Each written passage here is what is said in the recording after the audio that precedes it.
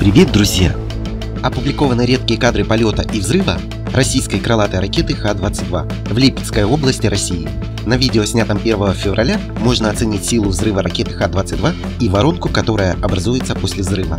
Предположительно, ракета Х-22 была запущена с самолета Ту-22М3. Ракеты Х-22 приняты на вооружение СССР в 1971 году.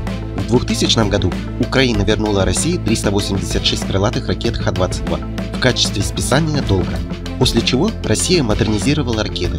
К 2022 году их было минимум 400 штук. Считается, что даже сейчас ракета Х-22 может преодолеть систему ПВО и ЧИС. Характеристики некоторых видов ракет Х-22 вы можете оценить в таблице. Ракета имеет жидкостный ракетный двигатель F-201-300 и инерциальное наведение с последующим конечным активным радиолокационным самонаведением на цель. Новые модификации ракет Х-22 имеют дальность полета до 600 км, при скорости до 5600 км в час на высоте до 27 км. Масса боевой части ракеты 1000 кг. Отклонение ракеты от цели около 30 метров. Стоимость ракеты Х-22 около миллиона долларов. Друзья, спасибо за просмотр. Приглашаем вас стать частью нашего сообщества и получить новые знания.